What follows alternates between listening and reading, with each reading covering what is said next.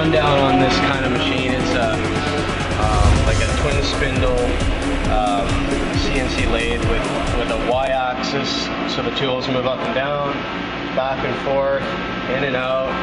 Uh, so X, Y, Z. Uh, we got live milling in X and Z so we can drill the end of the part, we can cross drill, mill up and down.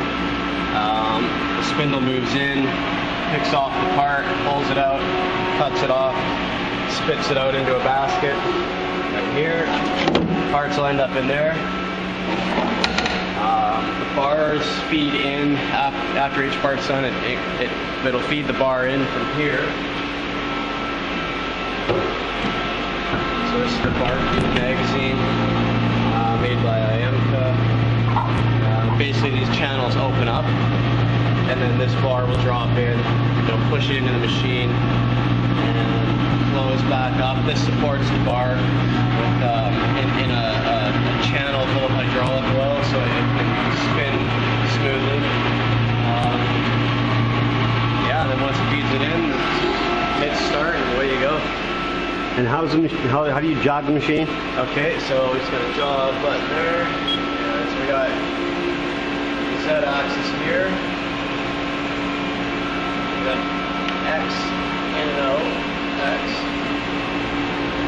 And then you have a Y axis. So based off the center point, the tool can move up and down. So if you have multiple, um, let's see here, multiple tools. Do you have the home each each tool? Yeah, each tool you're like when you first put it in the machine, you touch off on the on the tool setting probe, which I can show you.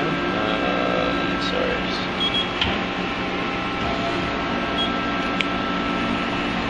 So this is the uh, touch setting probe. So you bring that down. You bring your tool in and touch in an X and a Z direction and that gives it a position in the machine's coordinate system to work off of. And then once you tell the machine where all the tools are in relation to its home position, then you find the, the, the face of your part and set that as your your work coordinate system. that would be Z0, say. um, and then once you have the tools established and the work piece established, you can then set your sub spindle position where it's going to pick off the part. So for instance, right, this, axle being made We'll start off at this end. Put that away. Start off at that end, get a thread put on it. It'll come in, grab the part, pull it out, keep machining, and then cut it off, spit it into a basket that flips up. It'll drop it into a basket, and take it away. Um, so there's a, here's the tailstock. So we have this spindle as well. So it rotates. It'll come in, grab the part. And it's so both both chucks will be spinning when this takes place.